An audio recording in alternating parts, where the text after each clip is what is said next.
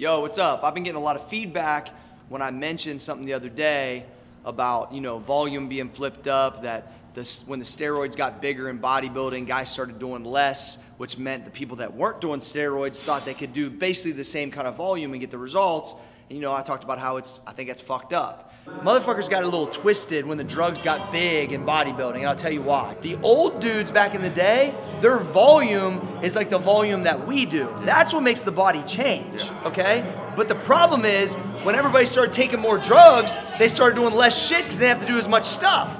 So people got it flipped up. Today's video is really about that they're not needed, everybody. Like, when I was 20 years old, getting into bodybuilding, and I started to realize what was really going down, you know, I didn't, you know, I didn't go that route.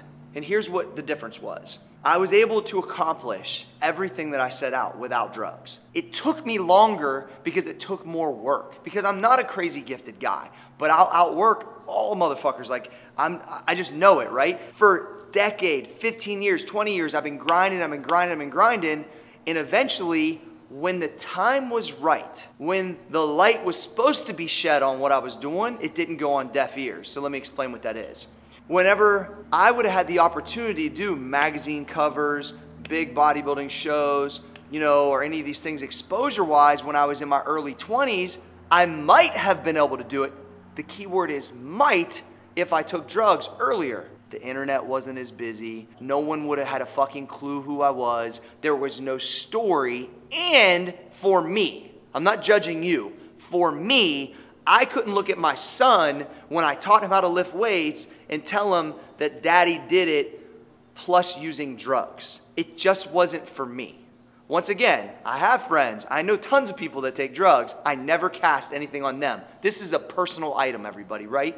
But what I'm going to show you, we're in old school gym, one of the top 10 most hardcore gyms in the country.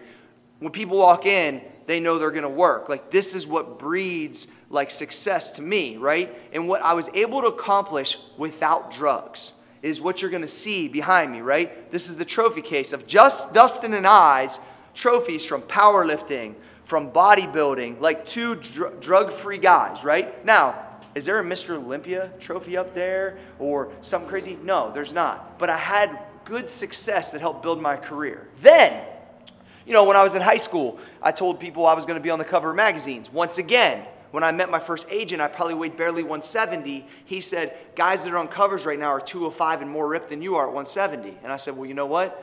I- I'm not going to take drugs, so I'll just keep working. Eight years later, the first cover came out. Eight years later, right? 11 now. 11. 11 no drugs. If these would have came earlier, let's say I would have took drugs and they would have came earlier, it didn't matter because I don't think anybody would have had a clue. Like I didn't have any content around. Like I think it just wouldn't have paid off as much. This story is much better to me. This is the one I want to tell my kids. You feel me? So, so it's not even stopping there. Now let's come on back here because it's not just about the look, right? It's about what's the like, what's the strength at too well, Cory, I know like these guys that are doing all these crazy weights, you know, they take drugs. Can I build up a level of strength? Yeah. When I started squatting every day, once again, they said the Bulgarians, the Soviets, all these guys that squat every day, they all took drugs. You can't recover from it. Man, fuck that. You can, right? So then, here's the new board at old school. We just got it done. 1400 raw at 181. 1475 raw at 198. Elite totals raw. No drugs. So, like, when I see a 20 year old kid that asks me, should I take drugs? I always say no because you don't need them, everybody. The advances in nutrition, the amount of supplements you have, the amount of knowledge you have on the internet. And at the end of the day, old fashioned, hard motherfucking work, volume, recovery, and minding like your business and taking care of yourself, it can make some truly amazing results. I've been doing this my whole life, and I'm telling you, you don't need them. They're not needed. 100%. And I proved it and will continue to prove it at 38 years old.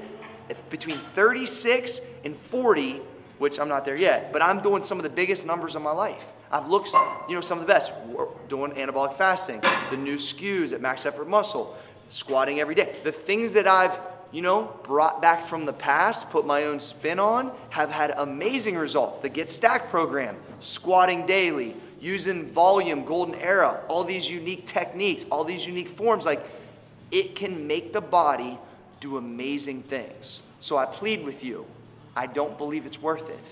Steroids are just not needed.